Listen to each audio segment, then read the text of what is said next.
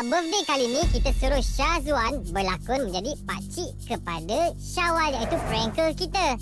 Nak tengok lakonannya? Jom.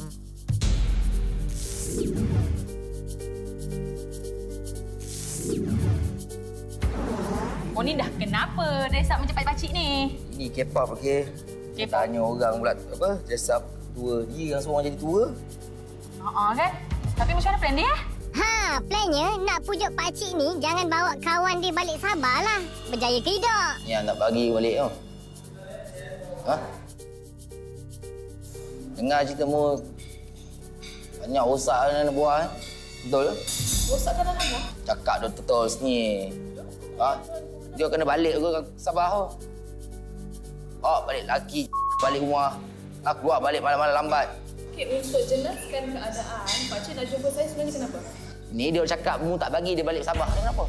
Ni gaduh dengan bapak dia kenapa? Saya sumpah demi Allah saya tak pernah larang dia balik. Panggil tak bawah. Dia gaduh dengan bapak dia. Asal mu. Hmm? Tak tahu ke?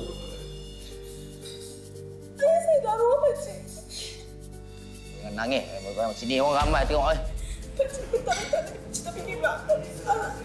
Jangan nangis sinilah. Orang tengok ni.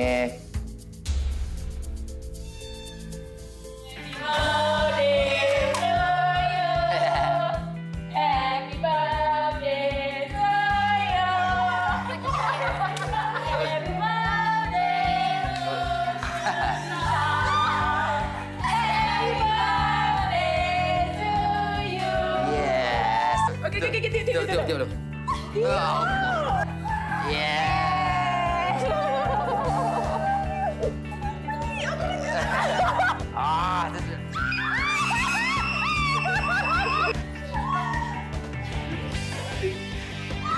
Ah, leg, leg, leg, leg.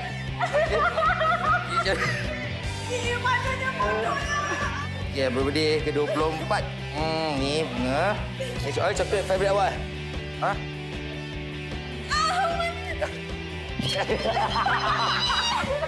Soal cakap kan, tanya kena jumpa pakcik. Apa perasaan awak? Boleh pelik tak? Asal tiba-tiba macam Pakcik ni macam apa? Apa tiba marah ke apa awak rasa? Sakit jiwa lah pusat pula lah tiba-tiba macam tu. Oh, okey lah, saya nak tanya. Ni dia orang cakap ni awak minat saya ni segan je. Betul betul ke ni apa tak? Sekarang ni dah takut. Punca. Punca. Yo, happy birthday yang ke-24. Alright, thank you so much for this surprise and then I love you guys. Okey, ah, macam semua. Malam top tak birthday Kumisha hari ni? Malam